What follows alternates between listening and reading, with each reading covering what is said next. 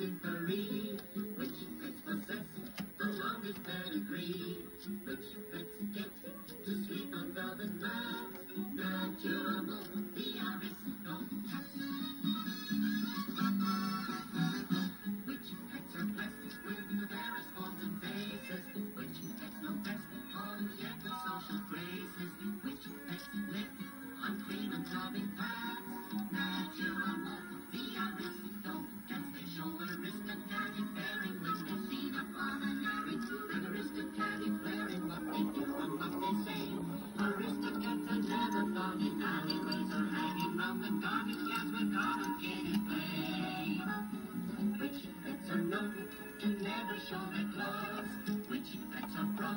to hardly any flaws.